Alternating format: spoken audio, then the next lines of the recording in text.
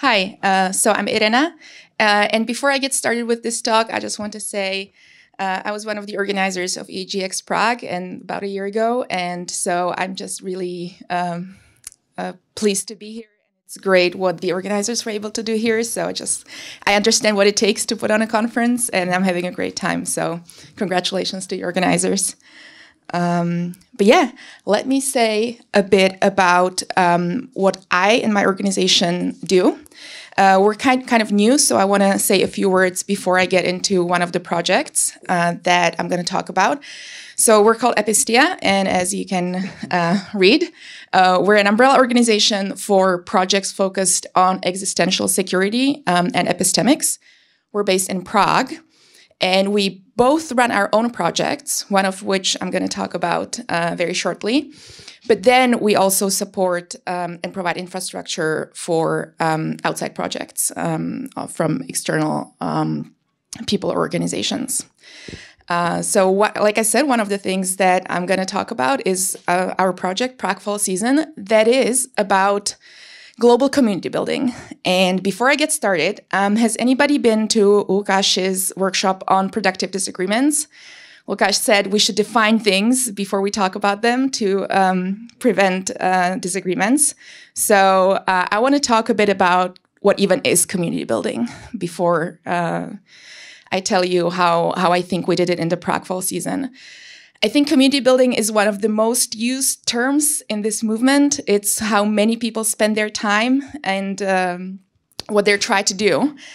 And um, I want to speak for a moment very broadly about community building in general, because um, I think, in some sense, in one way or another, I've been building various communities for over 20 years now, and only five of those have been in effective altruism and rationality recently.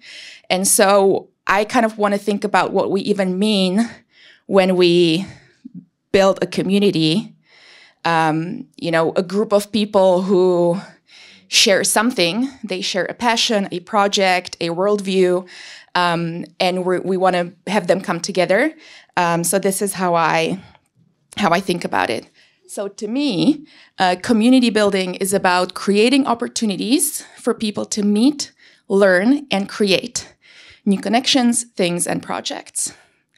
Now, what do I mean by that? So I think when people meet, it's obviously about creating new connections, but also deepening the existing ones. And that can be in any context of your colleagues, collaborators, or your social relationships. I think it's also about providing opportunities for learning um, and information sharing. Uh, those can be specific to that particular community. So, in the case of effective altruism or rationality, those are usually the content, the philosophy, the ideas of effective altruism. Um, and then finally, and I think this is a very, very important piece and you know relevant to the theme of this conference, getting things done. I think there is an element of creation or building um, new things, uh, new ideas, projects, events, something that wouldn't exist otherwise. Now, um, from the abstract to the more concrete, uh, the actual effective altruism community building. Uh, there, I think there's usual specifics uh, that people associate with that. So often it is kind of set in a particular area at a university, in a city, or on a national level. Um, there's examples like EA Anywhere, which is community building for people who are kind of dispersed um, all over, but most often um, it's set in one location. Um, there's usually a gradual, uh, it's a kind of um, gradual process throughout the year that happens continuously with some disruptions every now and then, or depending on the type. So if you're a university group, then obviously you have the holidays and then like new students come in in the fall. But generally, it's kind of dispersed um, all year round. Typically, there is a strong base um, with some new people coming in every now and then. And because of that, uh, there is often a strong context and culture of the already existing community. Unless you're starting a community from scratch, if your community is, has not does not exist yet, and you're trying to start it, that's a particular challenge, which I'm going to talk about later on because that's kind of what we uh, did in our project. But this is kind of typically what you can expect from uh, from effective altruism uh, community building. so we've defined community building, or at least in, from my perspective. Now, what about the seasons? So, of course, there's the Earth seasons, which I think are actually very important. I was born and raised in Central Europe. I've lived all my life with seasons. And then I moved to California uh, for four years. And um, yeah, there really weren't that many seasons, which is interesting how that affects your mind and just like how you perceive time and events in your life. It, it's very interesting. Um, but I don't actually mean the literal seasons. Um, when I talk about seasonality in community building and in our projects. So I'm going to talk more broadly. Seasonality is basically any kind of time dynamic um, in the process that you're doing. And um, I started thinking about this a couple of years ago, even on an individual level. Um, I do uh, some coaching and rationality instructing on the side for CFAR.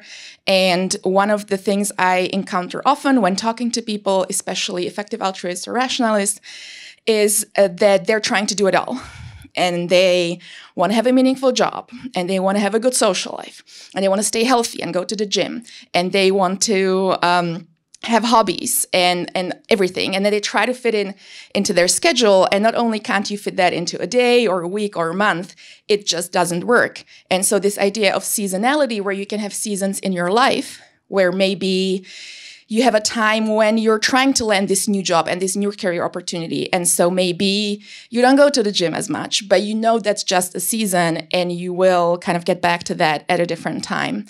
Or you are trying to make more connections and relationships and have a better social life. And maybe that means that um, your work kind of takes a little bit of a step back. And that's okay because that's the season you're in. And so, inspired by this idea that we can prioritize different things at different times and focus on different things at different times of our life was this idea of seasons in the community building um, where you can have a high focus on something in one time and then kind of a less of a focus um, in a different time.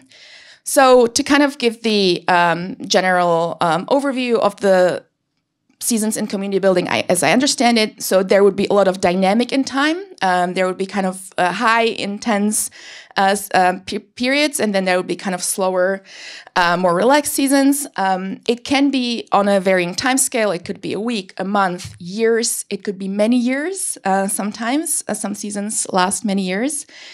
It could be for yourself as an individual, like I described, but also for groups of people or whole communities.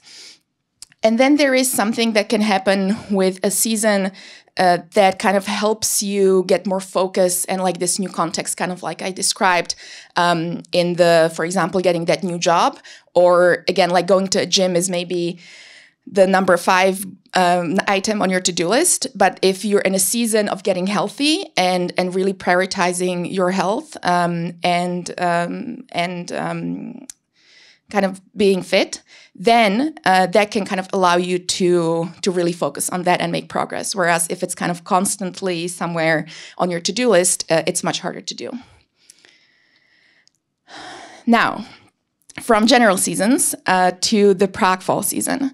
So um, we started thinking about this project right after EAGX Prague. Uh, so that was May May of last year, May of 2022, and um, it came out of a combination of things. First of all, we received um, some really good feedback on the conference in Prague, and it was um, some uh, reassurance that what we're doing and how we're doing it um, is useful and, and good for people to experience, both in terms of Prague and our local culture there, um, but also our skills and abilities to get things done and make things happen.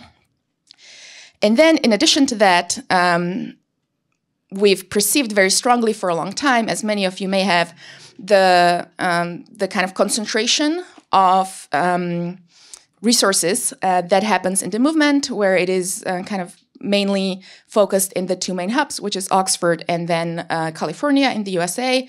And um, that seems both inconvenient for people from mainland Europe, um, and also it's just not for everybody. Like I said, I kind of lived in California for a long time, and I decided to move back because I didn't um, want to stay there long term.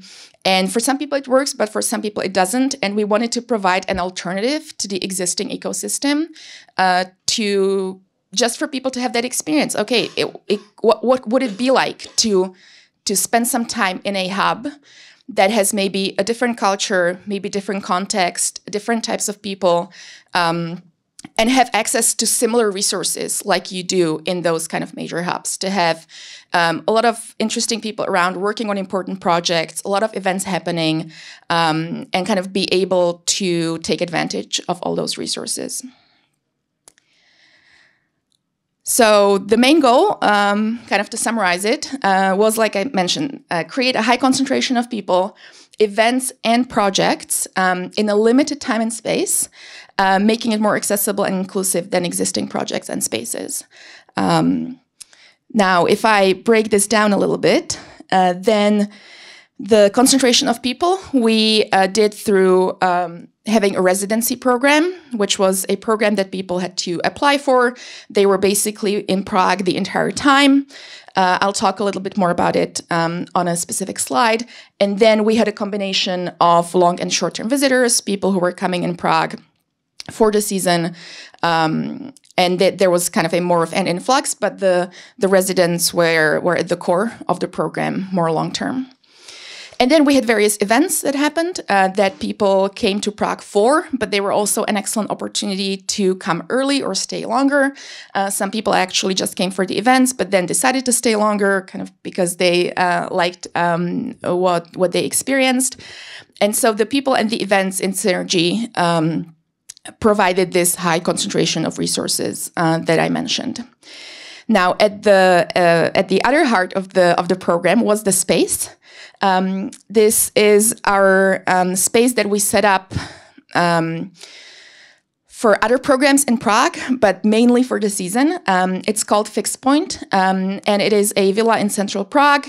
It has a capacity of about 50 workstations. That is, if you need a desk and a monitor to work, but if you can just like hang out on a couch, um, probably 70 or 80 people can be there at a time. It has this large social space for events and many amenities. I won't go into the detail. I could talk about it for a long time, but you can visit the website and, and feel free to talk to us afterwards as well. But I would say that was a very, very important part of the season is having that space where people can spend time, talk to each other, bump into each other, go to events, um, and just create that sense of community um, where even if you don't have any programs, any if you don't have any plans for the evening, if you're going to hang out in that community space, you're probably going to come across somebody who you can talk to, or there's going to be something happening there. Now, this is. Um, a summary of the residency program. So we had 27 residents. Um, on average, they stayed in Prague for about nine weeks. And um, our main job was to support them and provide infrastructure for them. So this was mainly in form of housing, office and admin support. Uh, we organized a retreat for them, and they also had access to uh, Tee Barnett, who was coaching throughout the season um, for those residents specifically. Um, I do want to say that we did give them a lot of um, flexibility or a lot of freedom.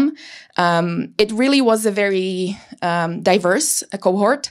We had people from animal welfare, AI safety, forecasting pandemic prevention, community building, operations, communications, uh, really a very, very broad range. And um, some people came with very specific projects that they already wanted to work on. Some people were more on a sabbatical and they were kind of trying to figure out what to do next. Um, and so, yeah, it was just this really um, interesting uh, group of people who who used that time to kind of make progress on whatever they came in um, with as their goals. Now, as for events, uh, the CFAR workshop series was probably the biggest draw um, of the season. So we organized four workshops. I was a co lead of that program as well. Um, that we had 137 participants um, and 19 staff and instructors. Um, and I would say that definitely was a was a big um, source of uh, participants of the season. Um, if I were to summarize the total of what happened before I get into the to the lessons, uh, every time somebody came to the house, we onboard them on Slack. So that's kind of one of our metrics is 357 people who were in some um, way onboarded on Slack. In terms of people who we were tracking through other means, we had 27 residents, as I mentioned, and roughly 150 people through some sorts of visits that we were able to track. Um, and then over 70 various events, workshops, meetups, anything that was happening in the house, whether it be a really big um, talk or workshop or just like a small meditation um, meeting. Um, this is kind of the, the overview of that. This is a, an interesting um, overview just to see kind of the capacity of the number of people that we had in that house that we were able to track. Again, not always uh, people kind of come and go, and it was hard to keep track. Um, but from what we could tell, you can see that there was kind of a bit of an um, amping up uh, during the year, and then a, like a slow fade down um, in December. And the top peaks are around 60, 50, 55 to 60 people um, in the house. Now, uh, for now for the challenges. So you know this all happened, and in that sense, it was a success because it happened uh, on its own. Um, but yeah, I want to say I want to uh, say a bit more about what that process was like and the things in particular that were challenging about it. So first of all, short timelines. Like I said, we decided to do it in May, and I remember going through that process where um, it seemed tight. I under I understand uh, planning fallacies. I understand uh, timelines. This isn't my first rodeo. I've organized many things before. A project of this scale, starting planning it in May for it to happen in September, was always going to be tight. Um, the the question was, can we push ourselves and do it imperfectly now, and then have more data and more information and do it better next time? Or do we kind of take a full year and a half to kind of properly plan it? Um, and there was a lot of considerations going into this, um, but we did have opportunities for funding. At that time, it was from the FTX Foundation. And also, I just came back from EAG London, I think, and Will MacAskill told me to think big and do big projects. And I was like, you know, I might no, this is like my responsibility. I don't want to say that it's on Will, but um, but I, there was this there was this energy about uh, getting things done and doing big ambitious projects. And so we decided to go for it, uh, you know, knowing that it was going to be um, going to be hard. Of course, it kind of depends on the situation. I'm not saying that should always be the decision, and I'll talk a little bit about decision making and and deciding to do projects later. Uh, but this is how we thought about it um, at that time. Now, uh, the other challenge was uh, that we were doing many things at the same time. So I was starting this organization, Epistea, and that meant that I was doing hiring, onboarding, um, setting up processes and, and accounting. Then we were setting up the space, the fixed point, because we got it as kind of an empty office. So we were buying furniture, buying equipment, setting up rooms and various systems. And we were running this program, the Prague Fall Season. And so that meant organizing events, communicating with participants, just kind of all of those things. And so I would say even one of those would be kind of a challenging task. Two would be, you know, um, uh, hard but possible. Three basically meant that something was always kind of taking the back seat, and that's where I think a lot of the um, the lessons and the things that we want to do differently this year um, are coming from because you can't do three challenging things well at the same time. Um, and then the final challenge, I would say, is at the core of what I talked about when I talked about community building in one of the first slides, because people come to the community to meet each other and create those connections. And they also want to learn and they also want to create and build things. And so our role wasn't to just provide infrastructure, not just to provide the office space and you guys sort of do whatever, our role was to also maintain and provide this intellectually stimulating environment uh, that people want to be in and want to want to be a part of. And so again, I would say that is on its own quite a big task to um, stay connected to the community, to talk to people, to um, understand what they're interested in, what their needs are, kind of how can you make um, um how can you help them with their projects and things like that. And so that also, I would say, for any community builder, this is probably a challenge. But again, in this kind of pop up international space, um, was even more so, especially given all the other things um, that we had going on. Now, so for the lessons, they kind of flow from the challenges, but in particular, um, I would say before starting this pro- this project, and that goes for any kind of project that you might do, um, is setting up the processes ahead of time. Um, you know, whether that is admin and technical things like how is invoicing going to work, how are you going to do reimbursements, um, what is the policy for I don't know, how do we track our hours, all of these things highly, highly recommend to set this up beforehand. Um, it may seem like it's a small thing, or it may not matter, or it's kind of not what the project is about. Like it's so, I think the lesson is actually something like it's easy to prioritize the content of the project. Like we are here to kind of do the actual project, whether um, whichever organization you work for. And these things seem secondary and not as important. But I would say the lesson here is that they are very important and they will, in fact, save you time in the long run, such that you can spend more time on the actual project. Set up explicit norms and culture.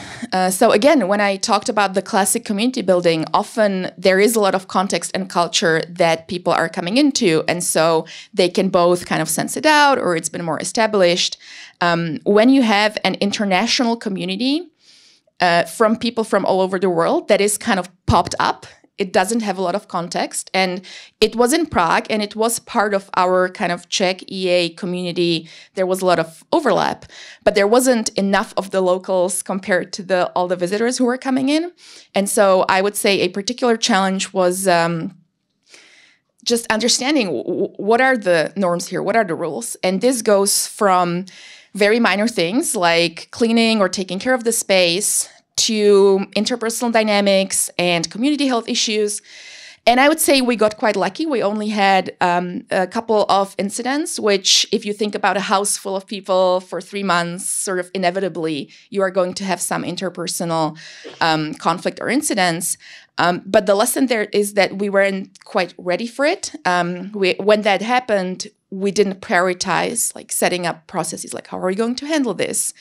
Um, are people actually breaking any rules because we didn't say that there were any kind of explicit rules for them to break and so again making the getting ahead of this and doing this early and clearly even if it seems basic to you because you come from a certain context or culture where it's clear that we um, do things a certain way I highly recommend um, making it more explicit for everybody, just so that they have the information. And also, um, if there's issues, then it's kind of clear why the issues are there because uh, you've established it in the first place. Set expectations and communicate them clearly and early. Uh, this goes mainly for our residency program, which again, we ran on a very tight deadline, but I would say um, of course, um, ideally, people can sort of work independently and they're going to figure out what it is that they work on and what they need, and they can just take care of that. Um, but yeah, I would say we, because we were doing so many things at the same time, it wasn't as much of a priority for us to kind of set clear expectations from our residents. And based on the feedback we received, they would have liked more guidance or more clarity on what we were expecting from the program. And lastly, take care of yourselves. And I think this goes for anybody who's doing community building.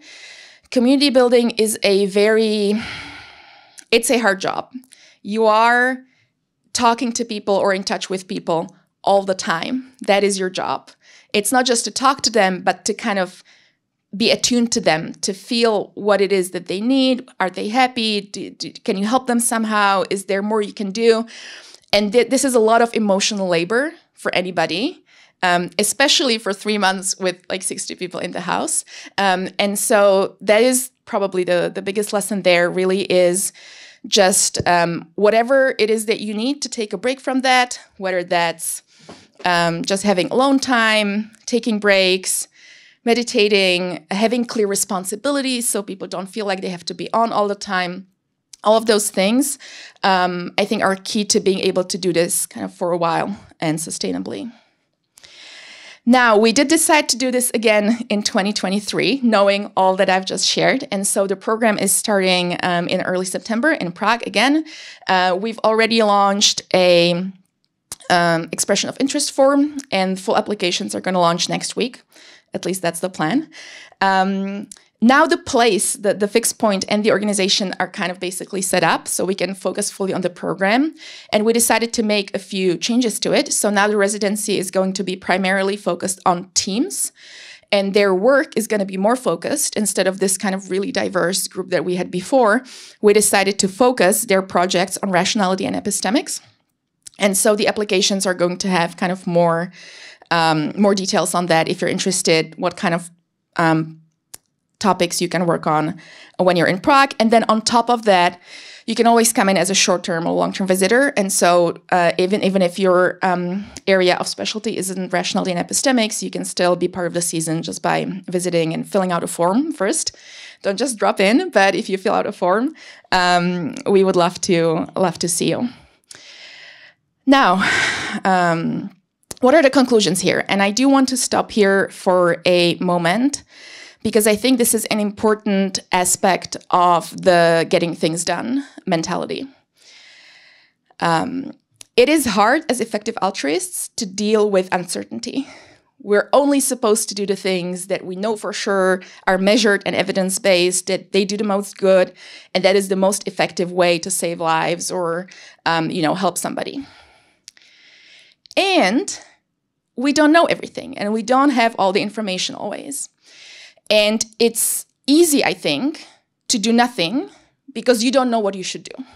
It's unclear what the best thing is. It's unclear what the most impactful thing is. And so you just don't do anything. And I understand that. Believe me, I absolutely understand that. There is, there, there's also a saying in Czech that's like, well, if you make no mistake, if you don't do anything, you can't make mistakes. But if you do something, you'll almost always make mistakes. And the mistakes can be that the project isn't as important as you thought it was, or you can't really it's not going to work out or you can't do it or there's there's all kinds of things that you're risking by doing things.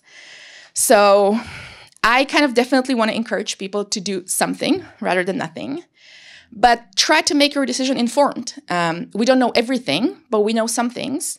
Um, have a hypothesis. Have a have a, um, some theory of change of what you're doing and why, talk to people, uh, find mentors or advisors who you can get feedback on from you for your things.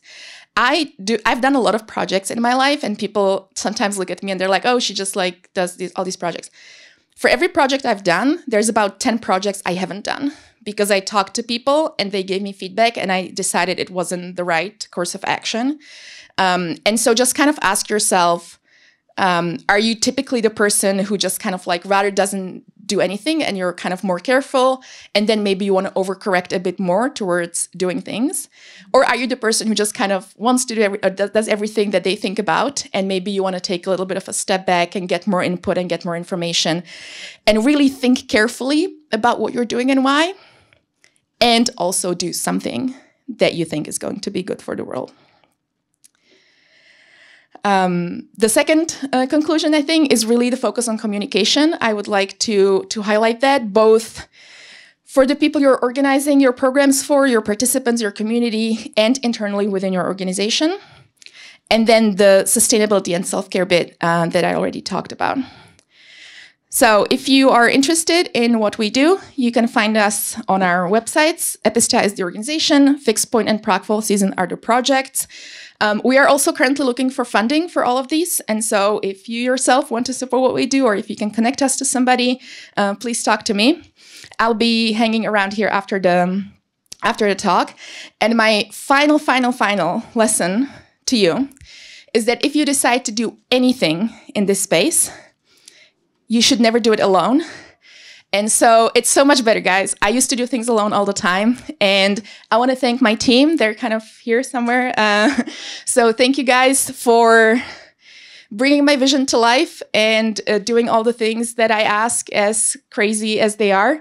Um, so I want to thank them. And I really highly recommend uh, that you chat with us if you're interested. And hopefully, I'll see you in Prague soon. Thank you. Thank you, Irena.